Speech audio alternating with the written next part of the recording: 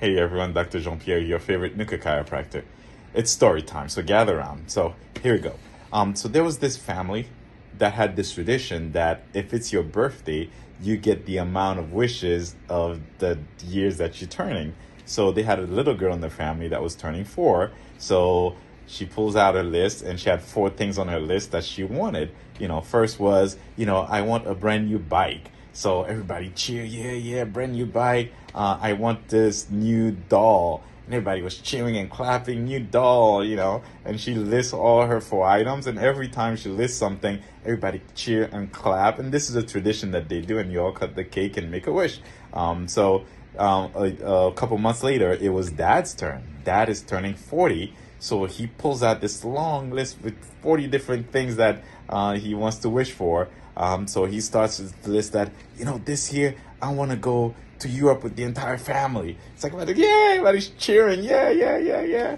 Um, it's like, yes, I want to finally get the motorcycle that I always wanted. Yeah, everybody. I mean, he goes on and on with 40 things, and every time he says something, everybody cheers, and at the end, blow out the candle and cut the cake. You know, that's a really cool tradition.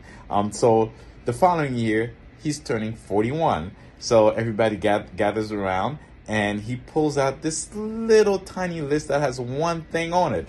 And what it says, like, this year, I want to be healthy again.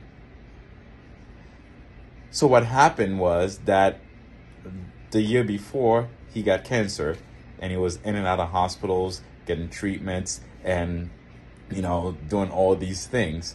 So this year, the only thing that he wants is to get healthy.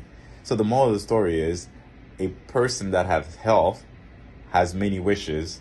A person without health has one wish, and that's to get your health back. So that's how valuable your health is. Don't wait till the last second. Make sure that you're doing things every single day that will take care of your health. Uh, and that's what we do in the office. We help you keep and maintain and restore your health. Uh, also, I want to leave you with this. Uh, think about this. The study of medicine is studying diseases and the things that makes man die. The study of chiropractic is the study of health and what makes man live. So just wanted to leave that with you. Dr. Jean-Pierre, your NUCCA chiropractor.